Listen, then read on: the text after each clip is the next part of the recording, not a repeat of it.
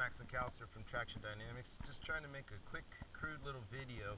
I kind of want to show you how jumpy the bike is in sport mode. When you select sport mode on the bike, um, the motor becomes really aggressive and people think that the motor setting is too aggressive but it's my contention that the suspension is just too bouncy and pointy you know like too loose and um, underdamped and undersprung and I kind of want to show you what that looks like on the bike and then later I'll try and show you another video after we've um, upgraded the suspension as to how the bike behaves differently. So we're just going to take a quick spin up the street here and watch what it does. I'm going to I'm going to jack the throttle just to kind of exaggerate it.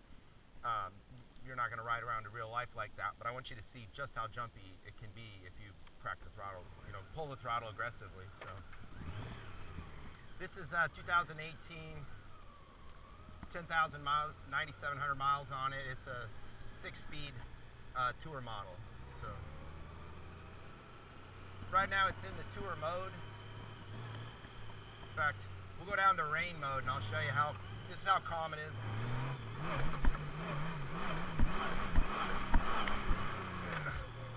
So, not very calm.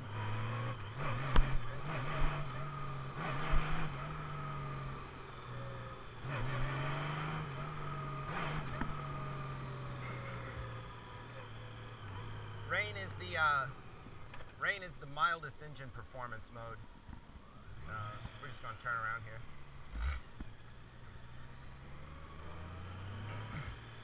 Now we'll select tour.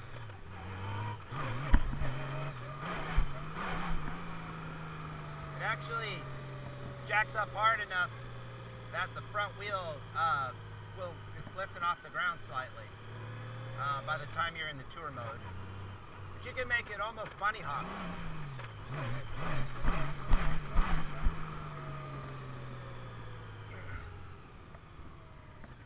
So, this comes from really soft springs that aren't, that are, the bike is way down in its travel and there's just no damping control. So when you open the throttle, the bike lifts because there's no rebound control.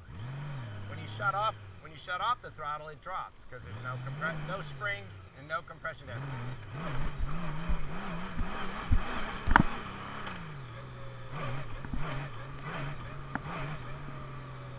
Now this is going to get much more aggressive in the sport mode. The whole bike changes once you go to sport. So that's, that's what it looks like in tour.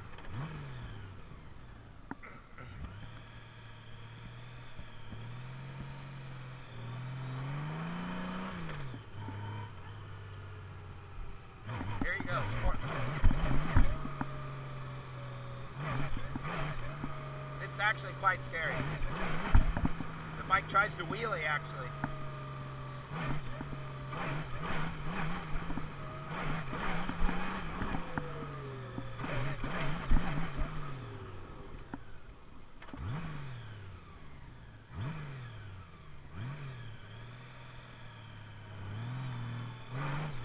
So it just picked up the front wheel right there.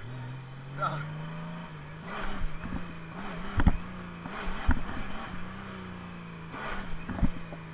that's just that, the bike just wheeling. So the change in performance in sport mode is wild. It's really, it's really quite powerful and, and crisp.